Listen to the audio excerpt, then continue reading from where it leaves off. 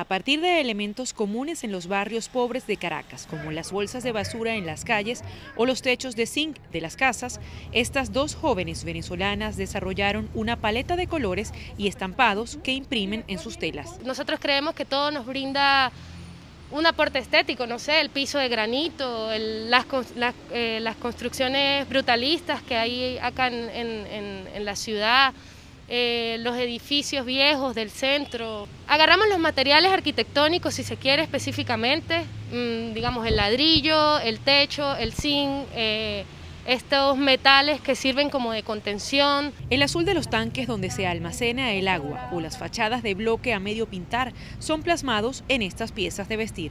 Utilizar estos elementos y transformarlos y crearlos en, algo... En, algo utilitario. Hace un año y tres meses crearon Roca Tarpeya, la marca con la que dicen reflejar lo que se encuentran a diario al recorrer las zonas pobres donde viven.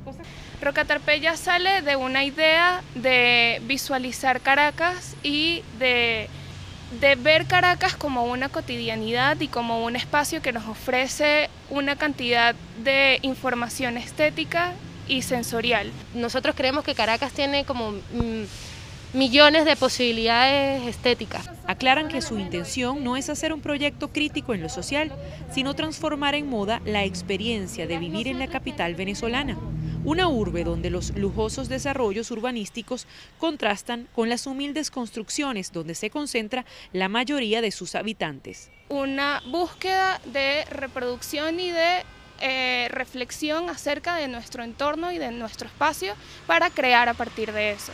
Adriana Núñez Rabascal, Voz de América. Caracas.